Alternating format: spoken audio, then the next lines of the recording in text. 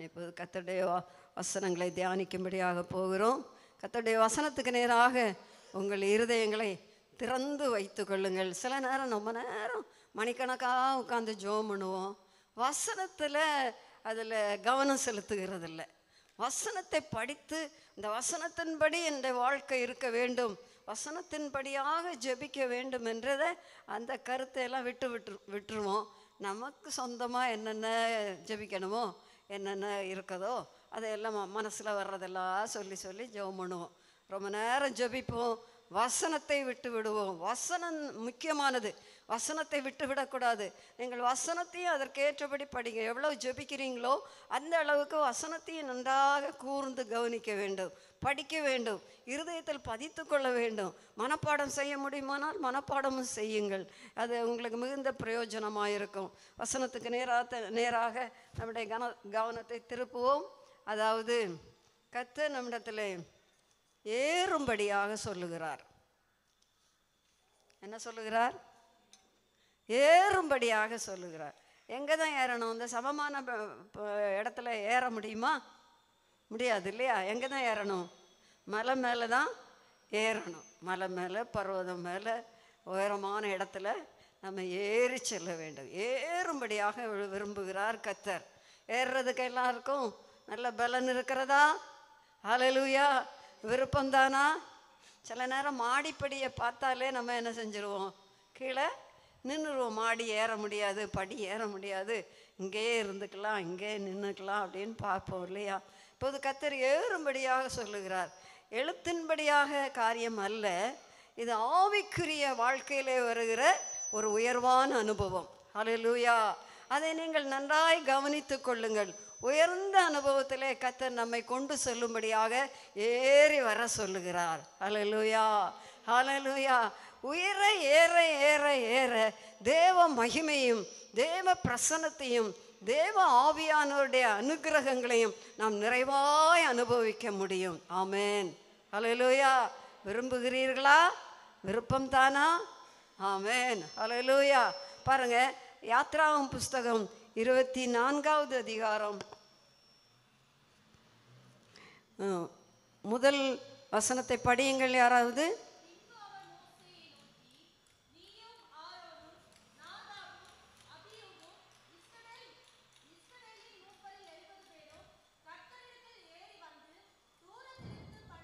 ஆமேன். கத்தர் இங்கே ஏறி வரும்படியாக சொல்லுகிறார். மோசையை நோக்கி மோசை இடத்துல சொல்லுகிறார். மோசை வர வேண்டும். ஆரோன் நாதாப் அபியு இஸ்ரவேலின் மூப்பரில் எழுபது பேர். இவர்கள் அத்தனை பேரும் க- இந்த மலையில் ஏறி வர வேண்டும். ஏறி வந்து கத்தரை பணிந்து கொள்ள வேண்டும். ஏறி வந்து பணிந்து கொள்ள வேண்டும். மற்ற ஜனங்கள் யாரும் அங்கே வரக்கூடாது. ஏறி வரக்கூடாது. கத்தருடைய கட்டளை அது. அது கீழே சொல்லுகிறார். அவங்க மாத்திரம்தான் ஏ கத்தர் சொன்னவர்கள் மாத்திரம்தான் ஏறி வர வேண்டும். மற்றவர்கள் யாரும் அங்கே ஏறக்கூடாது அங்கே பக்கத்தில் வரவும் கூடாது. ஆனால் மோச இடத்துல சொல்லுகிறார் நீ மட்டும் சமீபத்தில் வர வேண்டும். இவங்கெல்லாம் தூரத்தில் வந்து கத்தரை பணிந்து கொள்ள வேண்டும் என்று சொல்லுகிறார் அவர்கள் ஏறி வந்தபோது கண்ட ஒரு மகிமையான தரிசனத்தை நாம் கீழே பார்க்கலாம். அதாவது அவர் ஏறி வந்த உடனேயே அவர்கள் பார்க்கிறார்கள். எதை பார்க்கிறார்கள் என்றால் ஒன்பது பத்து வசனத்தை நான் படிக்கிறேன். பின்பு மோசையும் ஆரான் ஆரோனும் நாதாபும் அபியும் இஸ்ரவேலுடைய மூப்பரில் எழுபது பேரும் ஏறி போய் இஸ்ரவேலின் தேவனை தரிசித்தார்கள். அவருடைய பாதத்தின் கீழே நீல கல்லெழுத்த வேலைக்கு ஒப்பாகவும் தெளிந்த வானத்தின் பிரபைக்கு ஒப்பாகவும் இருந்தது. ஹalleluya அப்போ மகிமை அடைந்த கத்தரை அவர்கள் தரிசிக்க முடிந்தது. ஏறி வந்தபோது தேவ மகிமையினால் நிரப்பப்பட்ட கர்த்தரை அவர்கள் தரிசித்தார்கள். தரிசித்தது மட்டுமல்ல அவரை பணிந்து கொண்டார்கள். நா- ஆரோன் மோசே நாதாப் அபியூ என்பவர்கள் ஆரோனுடைய குமாரர்.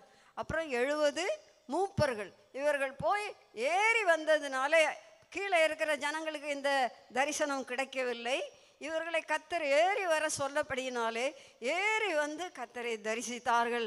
அவர்களுக்கு எப்படி இருந்திருக்கும்? மிகுந்த மகிழ்ச்சி மிகுந்த சந்தோஷம். ஏறின களைப்பெல்லாம் போயிருச்சு. மரம் ஏறுறது கொஞ்சம் கஷ்டம் அல்லவா? கஷ்டப்பட்டு தான் ஏறி போயிருப்பார்கள். போய் அங்கே கத்தரை தரிசித்த போது அவருடைய மகிமையை கண்டபோது அவர்களுக்கு மிகுந்த மகிழ்ச்சி மிகுந்த சந்தோஷம். அவர்கள் அவருடைய உள்ளம் சந்தோஷத்தினால் நிரப்பப்பட்டது. இப்படி இருக்கிற நேரத்தில் கத்தர் மோசையோடு சொல்லுகிறார். பனிரெண்டாவது வசனத்தை க கவனியுங்கள்.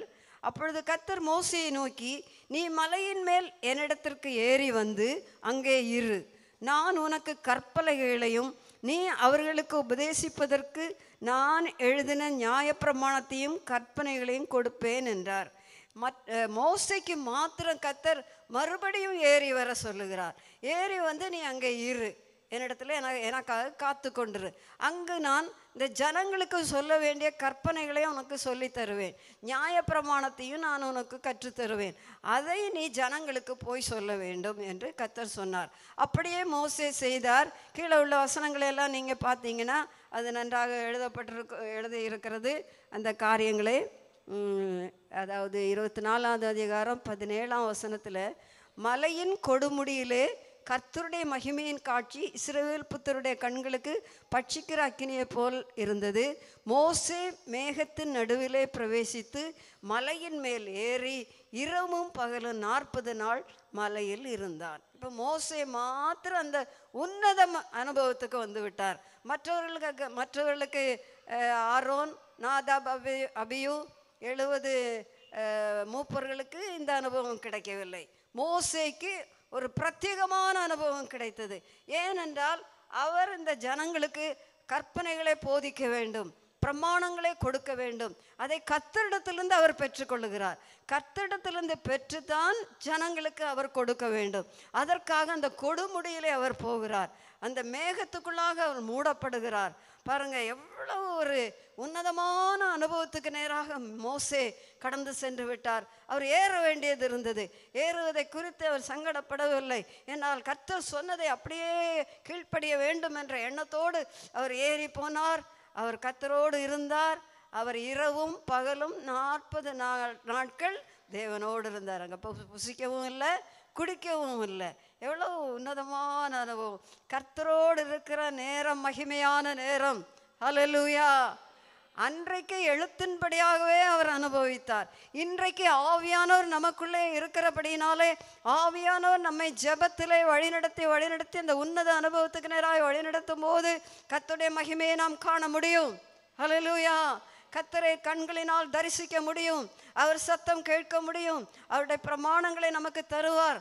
அவருடைய வசனங்களை நமக்கு தருவார். நம்மோடு போதிப்பார். நம்மோடு இடைபடுவார். இந்த அனுபவங்களை வாஞ்சிக்க வேண்டும் நீங்கள். நீங்கள் ஏறி செல்ல வேண்டதற்கு எங்கே ஏறணும்? மலையிலே ஏற வேண்டும். அதுதான் அது கடினமான ஒரு காரியம். கீழே இருந்தால் இங்கே உலகத்திலேயே எல்லாத்தையும் பார்த்து பார்த்து இருந்தோன்னா இங்கே தான் க- நம்முடைய இருதயம் சாய்ந்து போகும். ஆனால் கத்தர் என்ன சொல்லுகிறார் என்றால் தனித்து வந்து என்னுடைய என்னிடத்துல இரு மலையில் ஏறி தனித்து வந்து இருக்கும்படியாக அழைக்கிறார். இந்த மோசே கூட யாரும் செல்லவில்லை. க- கண்டி உத்து அது க கட்டளையாக கத்தர் கொடுக்கிறார். நீ உன்னோட யாரும் வரக்கூடாது. எந்த ஒருவரும் வரக்கூடாது. நீ மாத்திரம் தனியாக வர வேண்டும். வந்து எனக்காக காத்திருக்க வேண்டும் என்று சொன்னார். அதன் பிறகு அவர் பிரமாணங்களை சொல்லிக் கொடுக்கிறார். கற்பலைகளையும் கொடுக்கிறார். அதாவது அது அந்த வசனத்தில் யாத்திராகமோ அந்த கற்பனை பலகையை கொடுத்தது. இருபத்தி நான்கு பனிரெண்டு படியுங்கள்.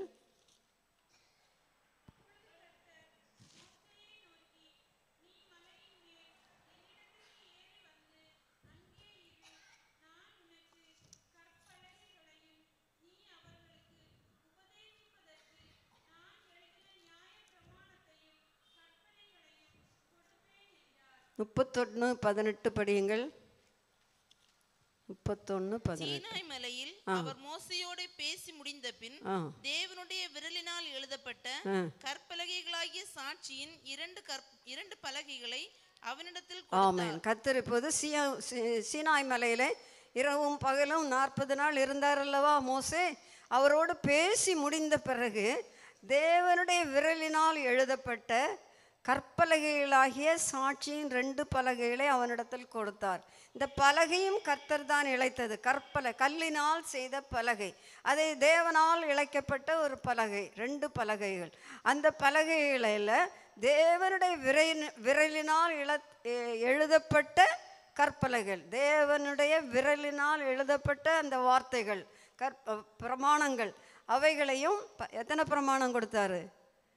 எத்தனை பிரமாணம்? அந்த கற்பலையில் எழுதின பிரமாணம் எத்தனை?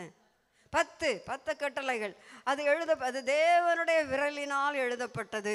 தேவனால் செய்யப்பட்ட கற்பலகை. இதை மோசே இடத்திலே கொடுத்தார். கொடுத்து மோசை கீழே இறங்கி வருகிறார். இறங்கி வந்த நேரத்தில் தான் அங்கே கன்றுக்குட்டி ஆர்ப்பாட்டம் நடக்கிறது. தேவன் தேவனோடு மோசே பேசி கொண்டிருக்கிறார் தேவனுடைய மகிமையை காண்கிறார். தேவனிடத்திலிருந்து பிரமாணங்களை பெற்றுக்கொள்ளுகிறார் இந்த கற்பலைகளையும் பெற்றுக்கொள்ளுகிறார்.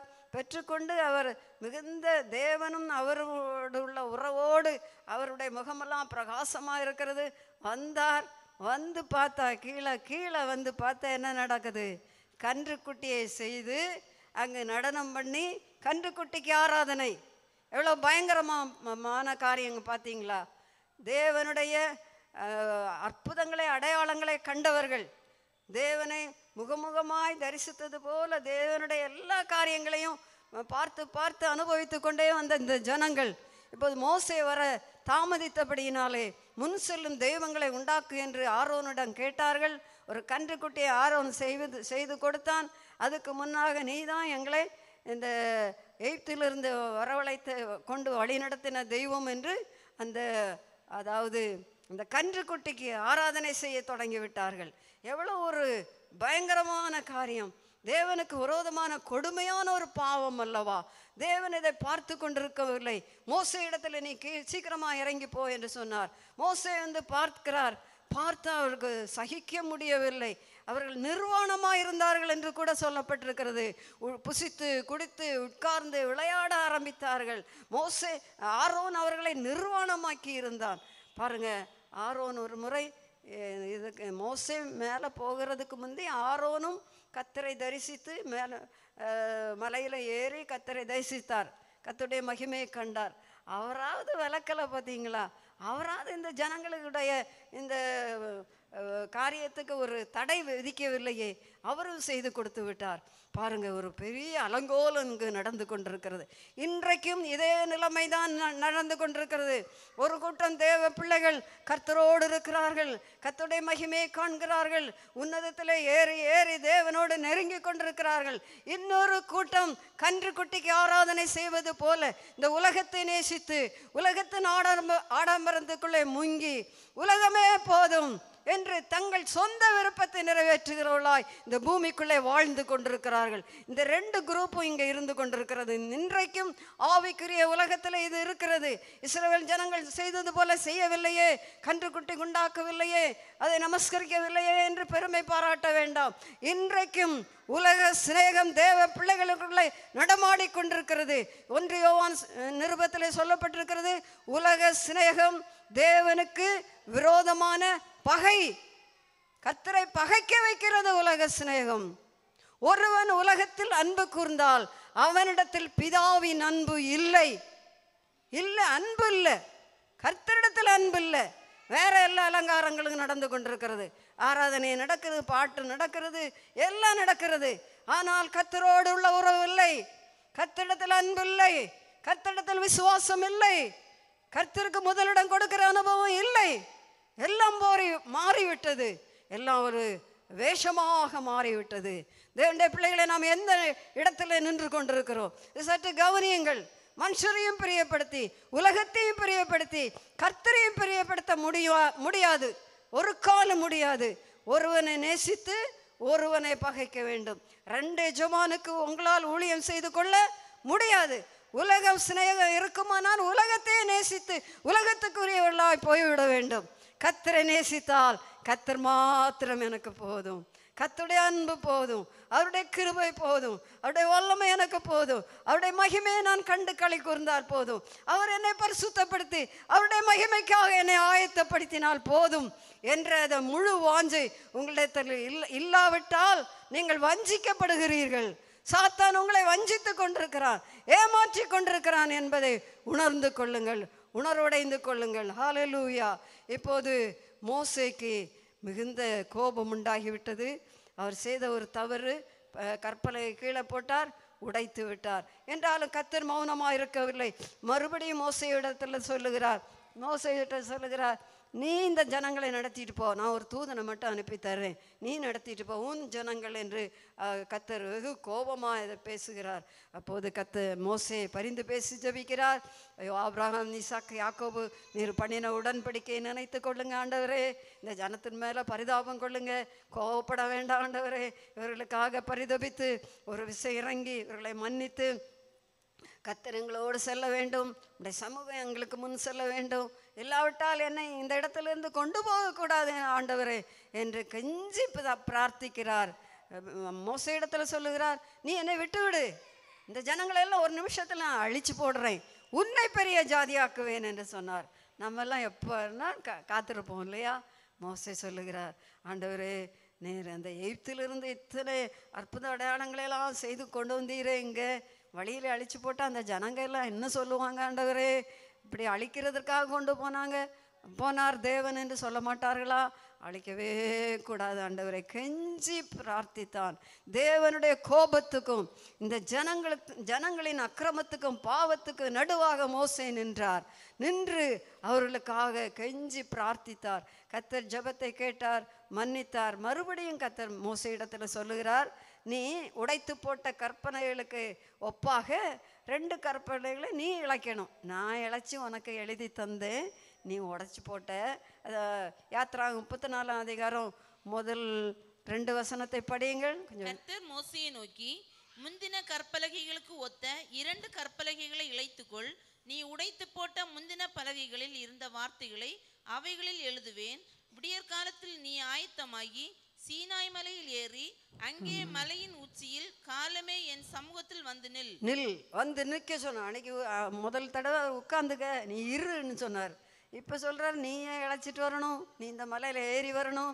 ரெண்டு கல்லுகளை ரெண்டு கையிலையும் தூக்கிக்கிட்டு ஏறணும். முந்தி சும்மா தான் ஏறினார்.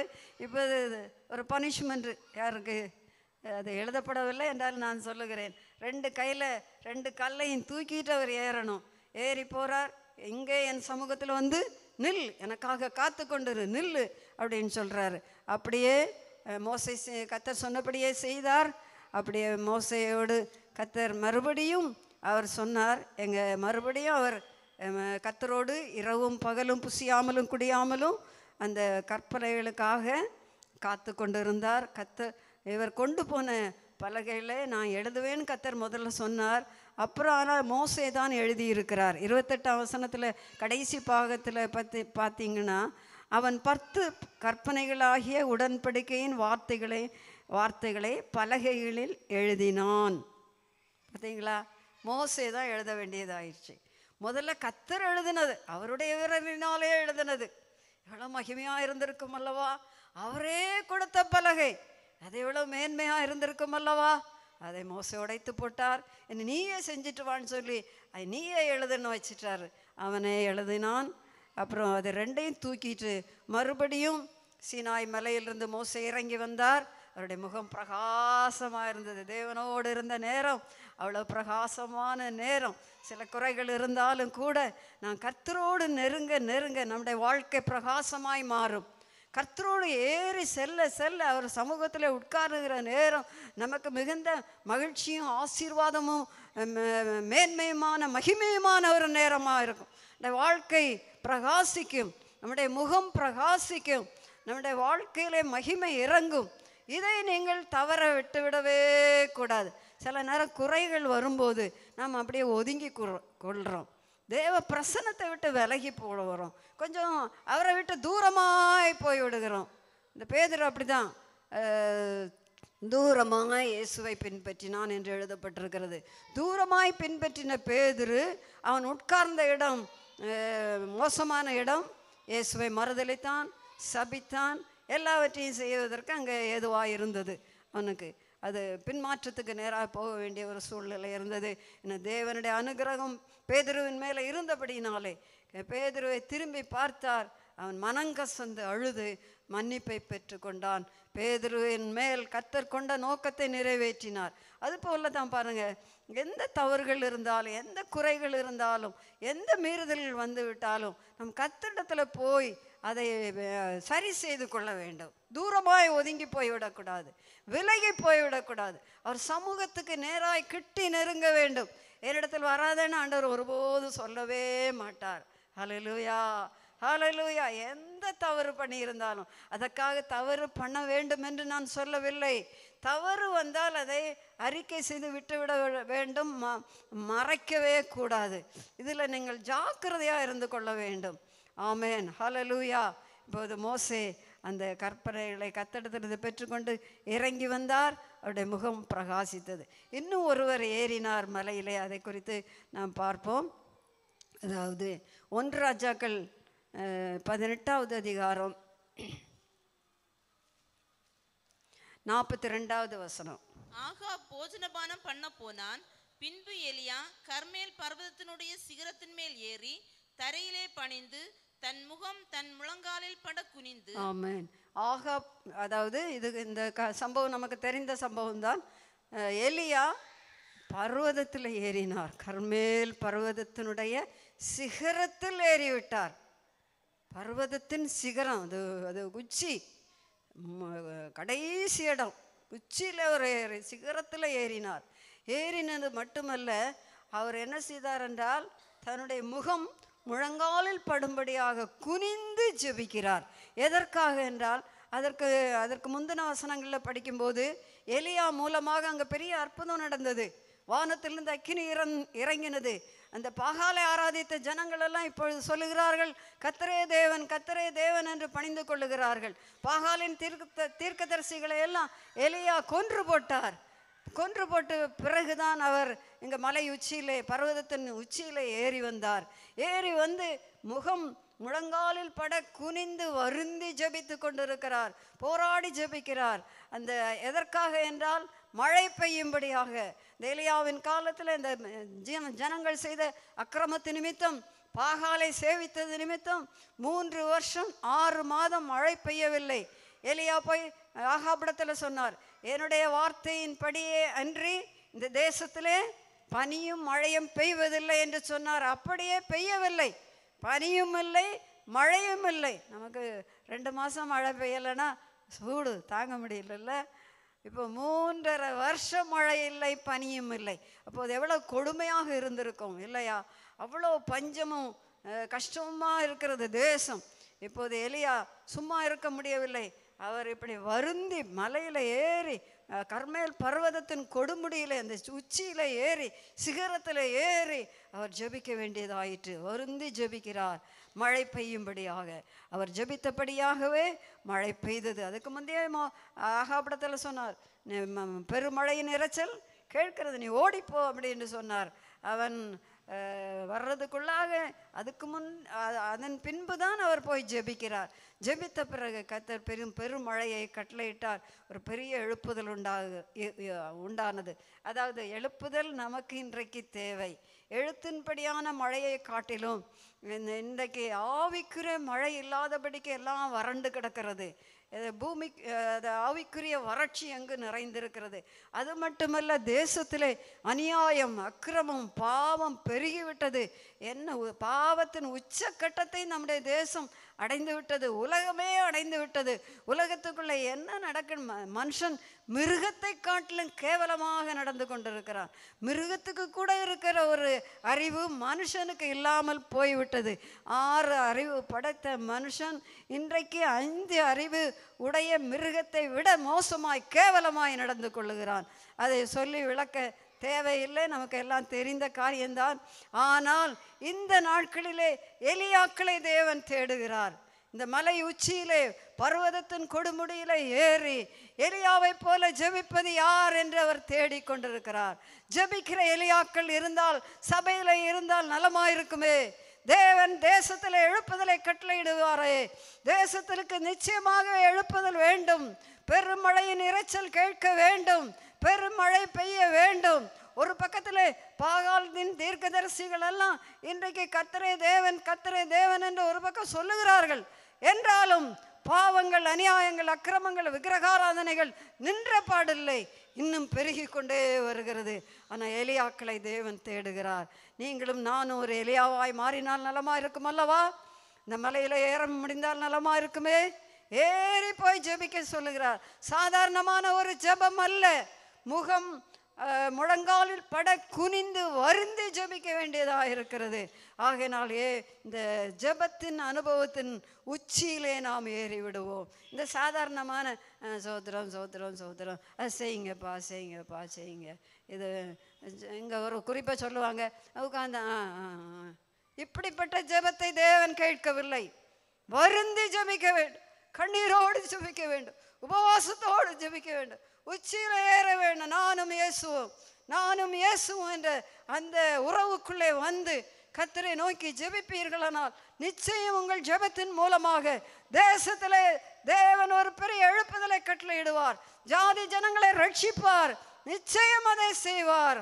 அலலுயா அலலுயா அரசாங்கத்துக்காக ஜெபிக்க வேண்டும். ஆட்சி பீடத்துக்காக ஜெபிக்க வேண்டும். ஆட்சி பீடத்தில் தேவன் எழுந்தருள வேண்டும். நான் அப்படித்தான் ஆண்டவர்களை நோக்கி கூப்பிட்டு கொண்டே இருக்கிறேன். தேவனே ஆட்சி பீடத்தில் நீர் எழுந்தருள வேண்டும். தேவன் எழுந்தருளுவார். சத்துருக்கள் சிதறுண்டு போவார்கள். ஹலலூயா ஹலலூயா கத்த தேசத்தில் எழுந்தருளாவிட்டால் தேசம் பரிதாபமான நிலையை எட்டிவிடுமே. விடுமே கத்தர் எழுந்தருளுவாரானால் கத்தர் கிரியை செய்வாரானால் தேவன் பெரிய காரியங்களை செய்ய வல்லவராயிருக்கிறார் தேவனுடைய கரத்தை தடுத்து நிறுத்துகிறது நாம் தான் ஜெபிக்காத நம்மாலே தான் கத்துடைய கரம் நீட்டி செயல்பட முடியவில்லை. ஹalleluya தேவண்ட பிள்ளைகளை உணர்வடைந்து கொள்ளுங்கள். இன்னும் நீங்கள் உலக காரியத்துக்காக உலகத்துக்காக அதுக்காக இதுக்காக ஜெபித்தது போதும். அதை நிறுத்துங்க. இந்த கர்த்தருக்காக கர்த்தருடைய சன்னிதானத்தில் நின்று பர்வதத்தில் ஏறி கொடுமுடியில் ஏறி உச்சியில் ஏறி நீங்கள் ஜெபிப்பீர்களானால் மீதி காரியங்களை கத்தர் உங்களுக்காக அத்தனையும் செய்ய வல்லவராக இருக்கிறார். ஹலலூயா நீங்கள் உலக காரியங்களை பார்த்து பார்த்து ஜெபித்து ஜெபித்து இதுவும் இல்லை அதுவும் இல்லை. இது கிடைக்கிறது இல்லை. கிடைக்காம சோர்ந்து போகிறீங்க என்ன ஜெபம்? என்ன இது? என்ன அது அப்படின்னு சோர்வு. இப்படி இதை இந்த இந்த வாழ்க்கை முறையை விட்டு விடுங்கள் இந்த காரியங்களில் இருந்து நீங்கள் ஒரு விடுதலை பெற்றுக்கொள்ளுங்கள். ஹலலூயா உங்கள் வீட்டில் சென்றால் அந்த உச்சியில் ஏறுகிற ஒரு அனுபவத்தை ஒரு இடத்துல வச்சுக்குங்க. இந்த இடத்துல நான் போய் உட்காந்து ஜெபிக்கணும். இல்லை இந்த ஆலயம் திறந்து தான் இருக்கு. எப்போனாலும் வரலாம். வந்து அக்கம் பக்கம் உள்ளவங்க எல்லாம் வந்து இங்கே உட்காந்து சிலர் ஜெபிக்கிறாங்க. நான் பார்க்குறேன். ஆனால் எல்லாரும் வந்து ஜெபிச்சா உங்களுக்கு அந்த அந்த மகிமையை கண்டு ஜெபித்தீர்களானால் அது உங்களுக்கு மிகுந்த ஆசீர்வாதமாக இருக்கும் அல்லவா ஹalleluya ஹalleluya இன்னும் அஹ், மலையில ஏறின ஒரு சம்பவத்தை பார்த்து நாம் ஜெபிக்கலாம். அதாவது மத்தேயு சுவிசேஷம் பதினேழாவது அதிகாரம் முதலாவது வசனம். ஆறு நாளைக்கு பின்பு இயேசு பேதுருவையும் யாக்கோபையும் அவனுடைய சகோதரனாகி யோவானையும் கூட்டிக் கொண்டு தனித்திருக்கும்படி உயர்ந்த மலையின் மேல் போய் ஆமென் ஹalleluya இயேசு உயர்ந்த மலைக்கு போயிருக்கிறார். ஹalleluya அவரோடு கூட பேதுரு யோவான் யாக்கோபு இவங்க மூன்று பேரும் போயிருக்கிறாங்க. போய் தனித்து இவங்க தனித்திருக்கும்படியாக போனார்கள். இயேசுடைய அவருடைய அனுபவங்களை நீங்கள் படித்து பார்த்தீங்கன்னா இயேசு தனித்திருக்கும்படியாக உயர்ந்த மலைக்கு அடிக்கடி போயிருக்கிறார். அதை வசனங்களில் நாம் பார்க்க முடியும். அதாவது யோவான் சுவிசேஷம் ஆறு பதினஞ்சில் சொல்லப்பட்டிருக்கிறது. அவர் தனித்திருக்கும்படியாக மலையின் மேல் ஏறினார்.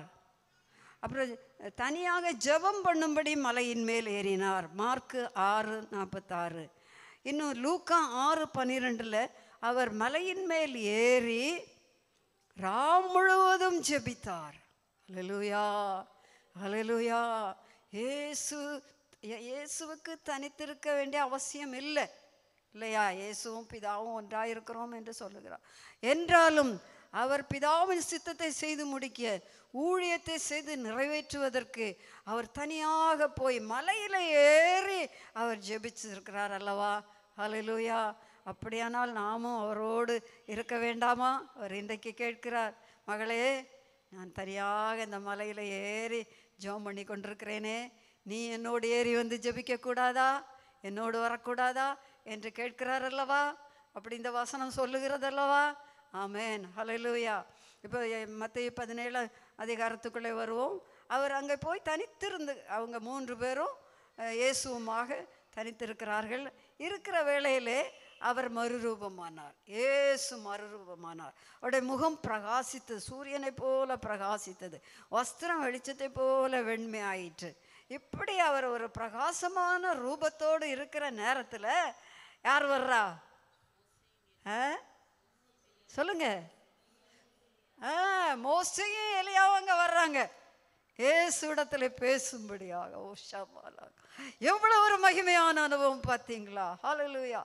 ஏசு பார்க்கிறார். மோ மோசையும் எலியாவும் வந்து பேசுகிறார் எதை குறித்து பேசுகிறார்கள்? எதை குறித்து பேசுகிறார்கள்? இயேசு எருசலேமிலே நிறைவேற்ற போக போ நிறைவேற்ற வேண்டிய அந்த பாடு மரணங்களை குறித்து பேசுகிறார்கள். இயேசு அனுபவிக்க வேண்டிய சிலுவை பாடுகளை குறித்து பேசுகிறார். சிலுவை மரணத்தை குறித்து அவர்கள் வந்து இயேசுவோடு பேசி கொண்டிருக்கிறார்கள். பேதர் பார்க்கிறான். யாரையெல்லாம் பார்க்கிறான்? ஆ? மோசே எலியா இயேசு. மூன்று பேரும் பார்த்து அவ்வளோ பிரகாசமாக இருக்கிறார்கள்.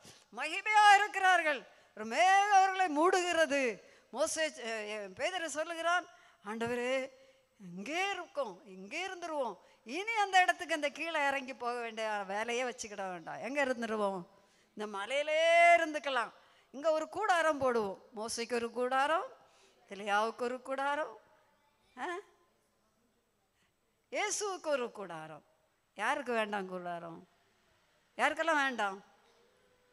பேதருவுக்கும் வேண்டாம் யோவானுக்கும் வேண்டாம் யாக்கோவுக்கும் வேண்டாம். எங்கள் மூணு பேருக்கும் கூடாரம் தேவையில்லை. ஆனால் உங்கள் மூணு பேருக்கும் கூடாரம் வேண்டும் என்று அவன் சொல்லுவது என்னதென்று தெரியாமலே சொல்லுகிறான். அவனுக்கு இருந்த பரவசம் அவனுக்கு இருந்த மகிழ்ச்சி ஆவியானவருடைய அந்த அன்பு அவனுடைய உள்ளத்தை நெருக்கி அவனை பற்றி பிடித்து கொண்டு இருக்கிறபடினாலே பேதரு அதை அழகாக சொல்லுகிறார். அவர் உணர்வு உணர்ச்சி வசப்பட்டு அதை சொல்லிக்கொண்டே இருக்கிறார். ஹலலூயா அப்படியானால் பழைய ஏற்பாட்டின் காலத்தில் ஜெ ப- ஜெபித்த பரிசுத்தவான்கள் இயேசுவோடு வந்து இன்றைக்கு இயேசுவோடு அவர்களோ அவரோடு இருந்து பேசுகிற ஒரு காட்சியை சீஷர்கள் காண்கிறார்கள். அப்படியானால் மலையின் அனுபவம் நமக்கு நிச்சயமாய் தேவை. மலையில் ஏறித்தான் ஆக வேண்டும். அலலுயா ஏறலாமா? ஏறலாமா?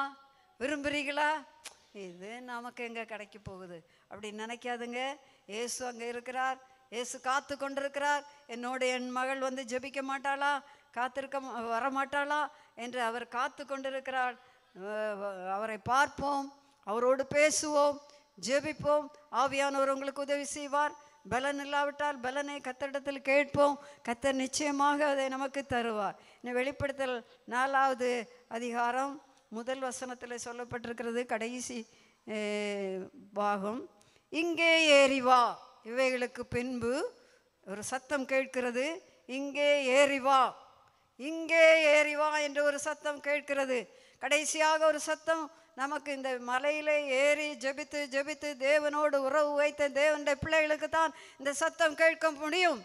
அலலூயா அ- அங்கே இருந்து ஒரு சத்தம் கேட்கிறது இங்கே ஏறி வா. அவர் உடனே ஆவிக்குள்ளானார். ஆவிக்குள்ளானது மட்டுமல்ல மகிமையான தரிசனங்களை தரிசிக்கிறார். சிங்காசனத்தை பார்க்கிறார் தேவனை தரிசிக்கிறார்.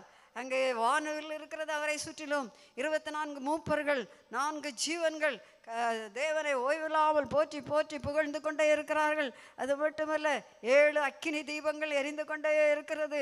இப்படியான ஒரு மகிமையான காட்சியை யோவான் அப்போஸ்தரன் காண்கிறார். ஹalleluya. ஏறி வர வர வர வர. மகிமையின் மேல் மகிமை எடுந்து நம் கத்தரை போல் மாறுவோம்.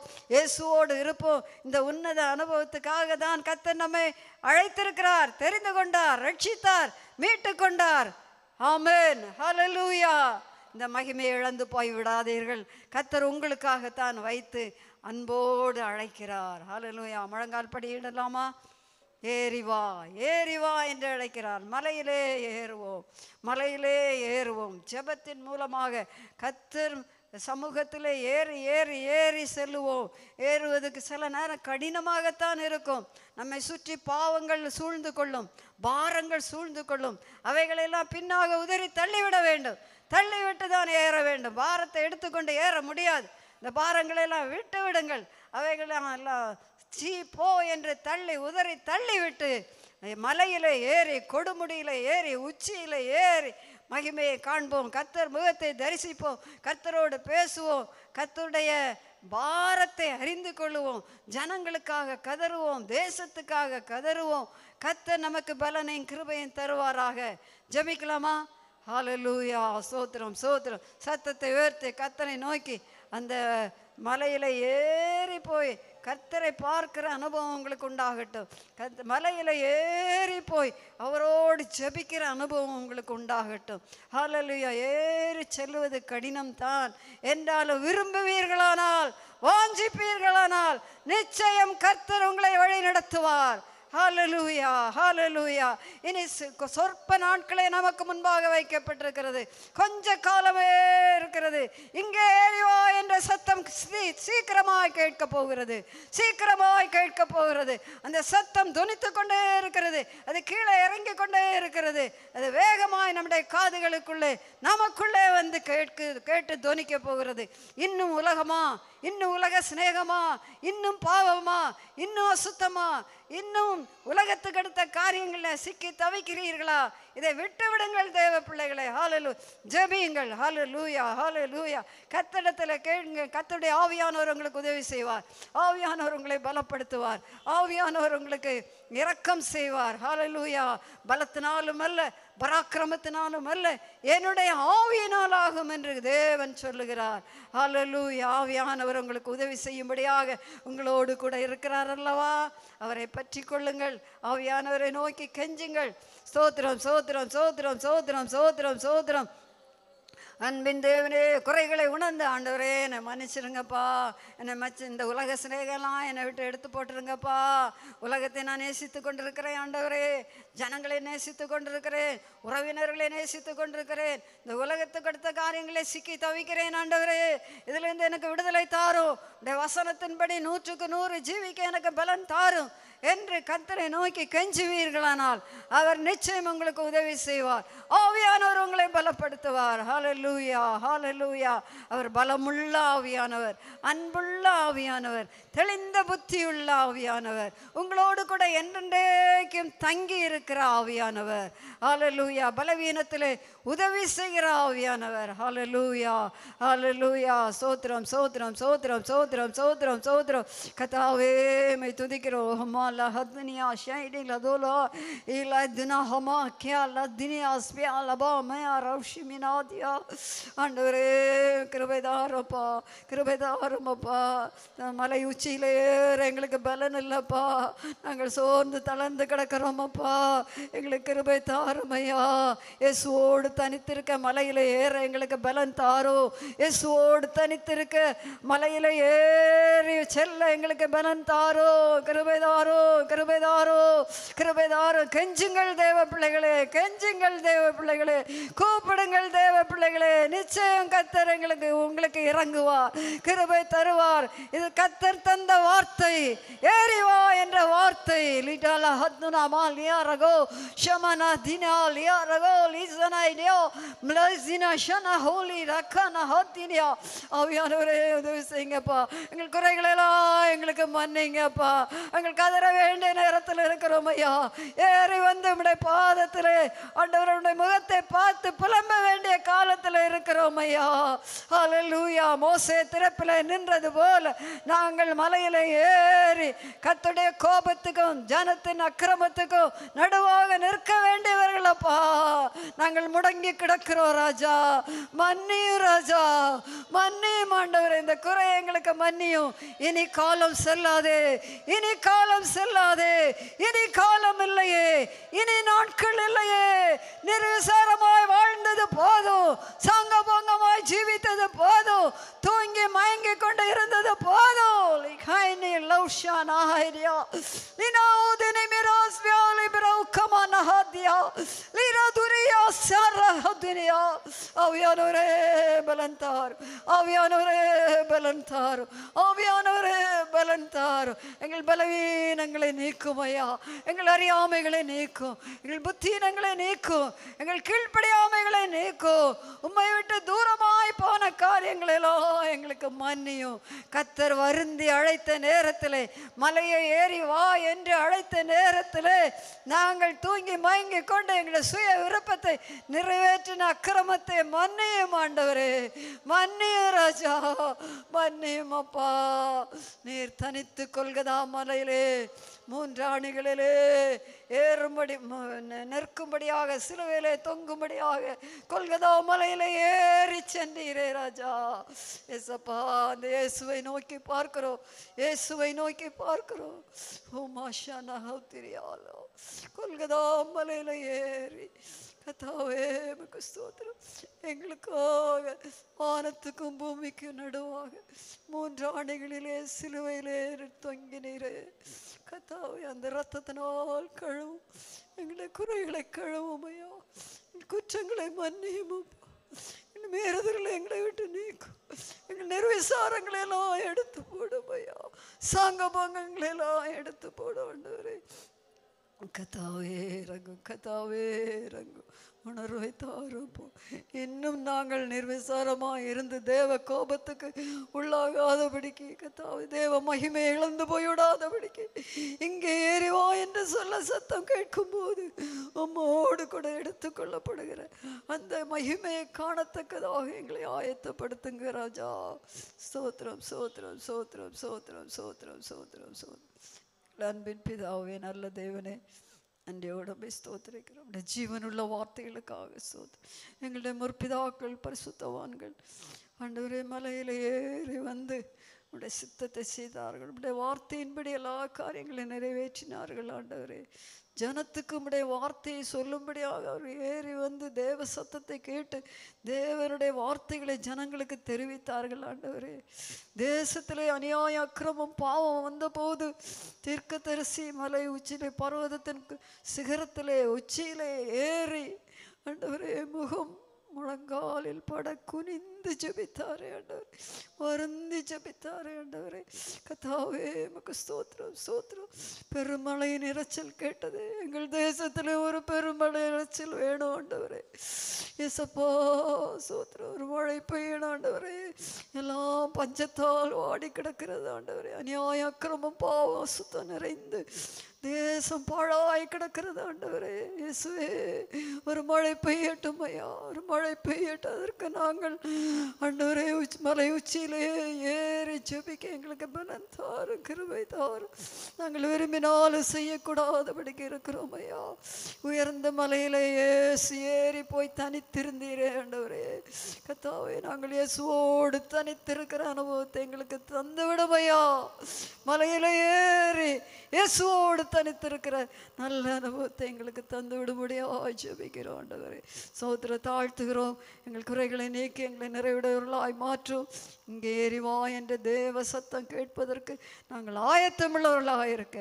ஆண்டவர் இந்த நாட்களிலே மலையில ஏறி கத்தரோடு தனித்திருக்கிற அனுபவத்தை பெற்றுக்கொள்ளவும் தேவ சத்தம் கேட்கவும் எங்களுக்கு கிருபை தந்து விடும்படியாய் ஜெபிக்கிறோம். துதி கன மகிமையெல்லாம் நாங்கள் உமக்கே செலுத்துகிறோம்.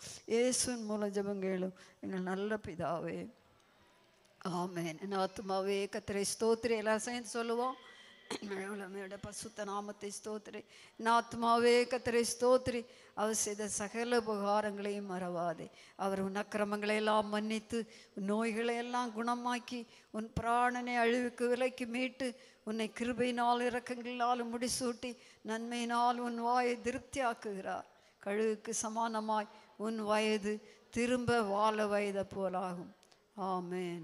ஹalleluya. ஹalleluya. கத்தர் உங்களை ஆசீர்வதிப்பாராக. மலையில் ஏறி இயேசுவோடு தனித்திருக்கிற நல்ல அனுபவங்களை உங்களை நடத்துவாராக.